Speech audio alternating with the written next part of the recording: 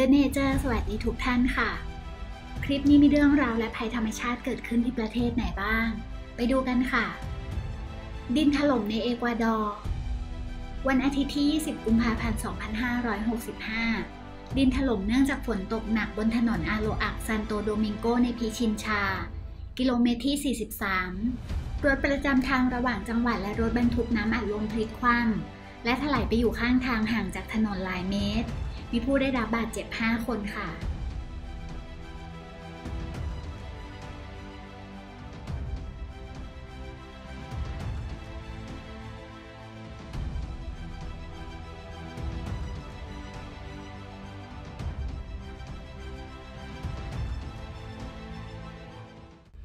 พายุแฟรงคลินพัดถล่มอังกฤษ ในสภาพอากาศเลวร้ายครั้งล่าสุดที่พัดถล่มยอร์กเชียร์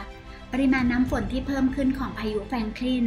และหิมะที่กำลังละลายจากพายุยูนิสทำให้ระดับน้ำในแม่น้ำเพิ่มขึ้นอย่างรวดเร็วทั่วทั้งเมือง รถขุดขนาดใหญ่และเครื่องจักรอื่นๆ ของโรงงาน ลอยออกไปในแม่น้ำที่ถูกน้ำท่วมในยอร์กเชียร์และชนสะพานทำให้รถขุดขนาดใหญ่และเครื่องจักรจมน้ำ เหตุการณ์ดังกล่าวเกิดขึ้นเมื่อวันอาทิตย์ที่ 20 กุมภาพันธ์ 2565 ระหว่างพายุแฟรงคลิน ซึ่งเป็นพายุลูกที่ 3 ติดต่อกันที่โจมตีสหราชอาณาจักร หลังจากพายุดัตลี่และพายุยูนิส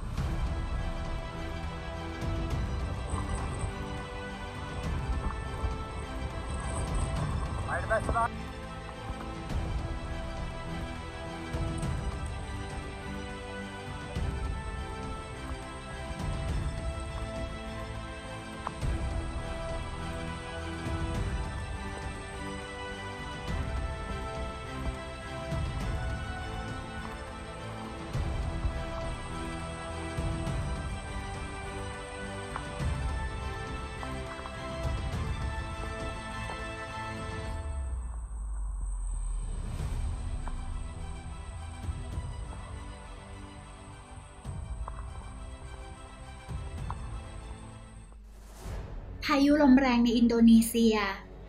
เมื่อวันอาทิตย์ที่ 20 กุมภาพันธ์ 2565 เวลาประมาณ 12นาฬิกา20 นาทีตามเวลาท้องถิ่น พายุลมแรงพัดถล่มหมู่บ้าน 3 แห่งในตำบลปาตี ตำบลเวดารีจักสาบชวากลาง หมู่บ้านที่ได้รับผลกระทบ 3 แห่งได้แก่หมู่บ้านตะโลโกฮารุม หมู่บ้านเคโป หมู่บ้านทูวุกสถานที่สาธารณะและบ้านเรือนหลายหลังได้รับความเสียหายค่ะ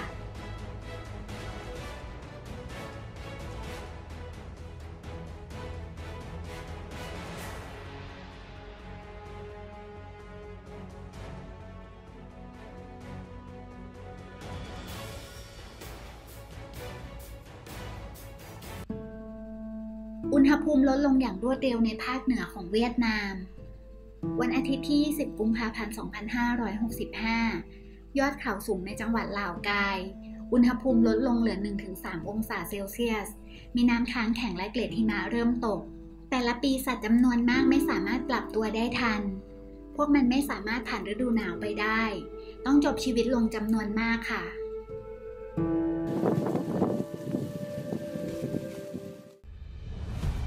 ป่าในอาร์เจนตินา ไฟป่าเริ่มตั้งแต่วันพฤหัสบดีที่ 10 จนถึงปัจจุบันวันจันทร์ที่21กุมภาพันธ์ 2565 เผาผลาญในพื้นที่ซันโตโตเมตอนเหนือตะวันออกเฉียงเหนือกระทั่งเสียพื้นที่ป่าและพื้นที่ป่าชุ่มน้ำไปแล้ว3ล้าน7แสนไร่ พื้นที่ป่าอุดมสมบูรณ์เต็มไปด้วยสัตว์ป่าหลายชนิด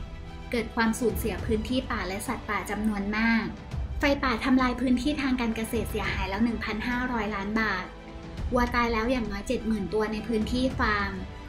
หน่วยงานดับเพลิงของบราซิลข้ามพรมแดนมาช่วยเหลืออาร์เจนตินาดับไฟ ไฟไหม้กินพื้นที่กว้าง บุคลากรของอาร์เจนตินาไม่เพียงพอค่ะ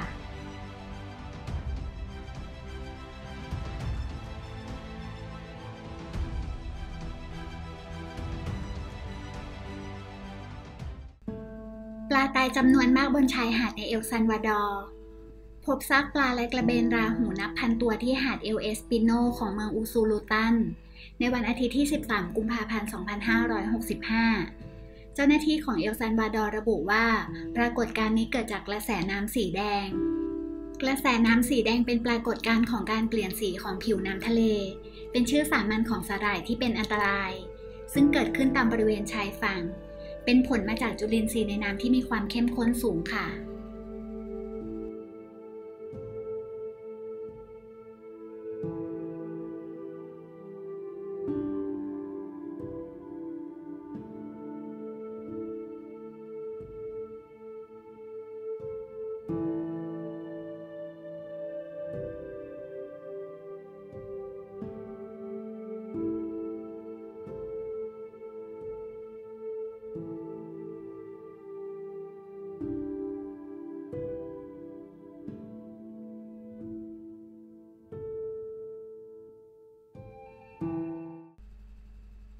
คลิปนี้เราจะพาทุกท่านไปเที่ยวชมแกลนแคนยอนในประเทศสหรัฐอเมริกากันค่ะ แกลนแคนยอนเป็นหน้าผาถูกกัดเซาะลึกลงไปในแนวดิ่ง เป็นหุบเขาที่แสงยากจะส่องถึง และผืนดินสีอิฐเรืองรองยามพระอาทิตย์อัสดง สถานที่แห่งนี้ผ่านการรังสรรค์จากสายลมและกระแสน้ำอันเชี่ยวกรากกัดกร่อนชั้นหินมานานหลายล้านปี เกิดเป็นความสวยงามน่าพิศวง เรียบไปตามแม่น้ำโคโลราโด ในระยะทางกว่า 200 ไมล์หรือกว่า 321 กิโลเมตร พื้นที่กว้างใหญ่ไพศาลนั้น ครอบคลุมสภาพภูมิประเทศหลายประเภท ทั้งหน้าผาสูงลึก ทะเลทราย น้ำตก สายน้ำคดเคี้ยว หินมหมารูปร่างประหลาด เขตป่าสงวนรวมทั้งแหล่งเรียนรู้ประวัติศาสตร์ชนพื้นเมืองดั้งเดิมว่ากันว่าจุดชมแกลนแคนยอนที่ดีที่สุดคือสกายวอล์กสะพานรูปเกือกม้าที่สร้างยื่นออกมาจากหน้าผาค่ะ